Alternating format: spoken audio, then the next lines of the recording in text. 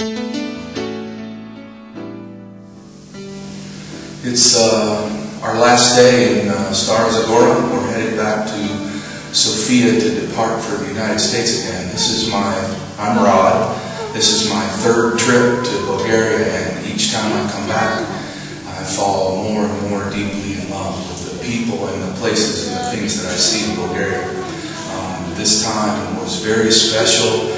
Got to go to places that I hadn't seen, like the church at Verditsa, for at least three years, and it's great to see the improvements and the progress that's being made there. Um, the people are warm, the, the food is good, the weather was outstanding. God moved in so many great ways for us. We've been blessed the whole time we've been here.